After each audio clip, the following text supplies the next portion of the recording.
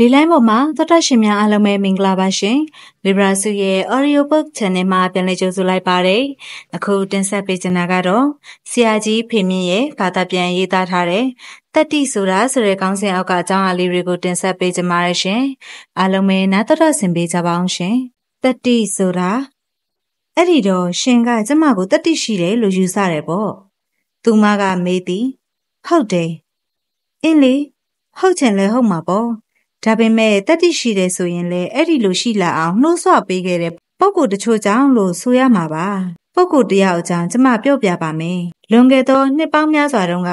ကျမစတင်ဖို့ဈေးရုံမှာစေတနာဝန်ထမ်းလုပ်လုပ်ခဲ့ဘူးတယ်အဲ့မှာလီဇာဆိုတဲ့လူနာမင်းကလေးတယောက်ကျမတွေ့ရတယ်သူကလေးကအင်မတန်ဖြစ်ခဲ့တဲ့ယောဂဝေဒနာဆိုးတစ်မျိုးကိုခံစားနေရတာသူနလန်ပြန်ထူလာဖို့အတွက်အသက်၅နှစ်ပဲရှိသေးတဲ့သူ့မောင်လေးစီကသွေးကိုသွင်းပေးတဲ့နီးတစ်ခုပဲရှိတော့တယ် ဒီမောင်လေးကသူကိုယ်တိုင်သူ့အမရဲ့ယောဂမျိုးဖြစ်ခဲ့ဘူးပြီးထူးခြားအံ့ဩပွဲပြန်ကျမ်းမာရှင်သန်လာခဲ့သူလေးပဲ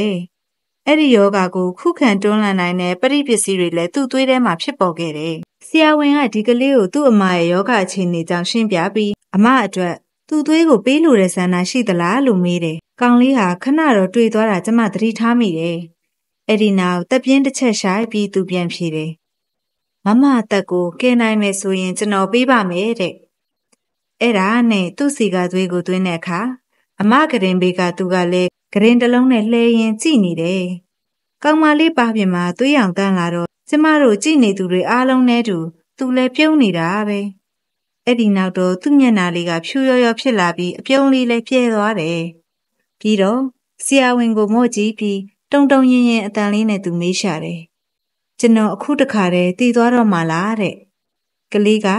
ငယ်တော့ဆရာဝန်ရှင်းပြတာကိုကောင်းကောင်းသဘောမပေါက်ဘူးသူကသူ့မှာကျွဲသွေးပေးရမယ်ဆိုတာသူ့သွေးအလုံးဖောက်ပေးလိုက်ရမယ်လို့ထင်ထားတာကို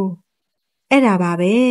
တတိစိတ်မွေးပေးတဲ့အဲ့ဒီလိုပုံကူမျိုးတွေးခဲ့ရဘူးလို့ကျမမှလည်းတတိဆိုတာရှိတတ်လာခဲ့တာပါဟုတ်ကဲ့ပါရှင်အခုတင်ဆက်ပေးသွားတာကတော့ဆရာကြီးဖေမြင့်ရဲ့တတိဆိုတာဆိုတဲ့ခေါင်းစဉ်အောက်ကအကြောင်းအရာလေးပဲဖြစ်ပါတယ် သောတာရှင်တို့အတွက်ခံစားမှုတစုံတရာလေးရရှိသွားလိမ့်မယ်လို့ယုံကြည်ပါတယ်